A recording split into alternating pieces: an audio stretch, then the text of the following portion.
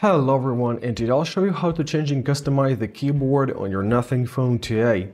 So first of all launch your keyboard by any possible way. I'll launch it through the notes, right? So let's add our note, let's launch our keyboard. Now on your keyboard find this little cog, this is settings. So now in your settings I'll find theme, tab here. So, and you can choose from one of the preset themes. For example, let's choose this one, like it.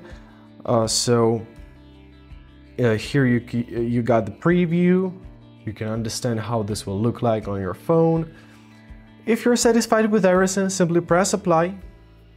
Let's check it out. Now our keyboard theme is applied. To customize your keyboard further, simply go back to the keyboard settings, press theme, and in my theme section, press on this uh, plus icon.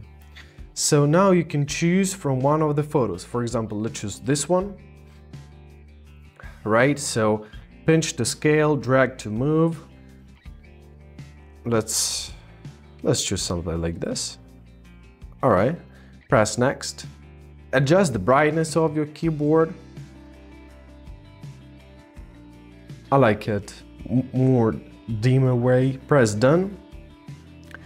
Uh, now you've got your preview. You can give your custom uh, you can give your custom keyboard a name. Press next, save. So easy as that. Press apply. And now we've got our custom theme applied. So I hope this video was helpful. Thank you so much for watching and have a great day.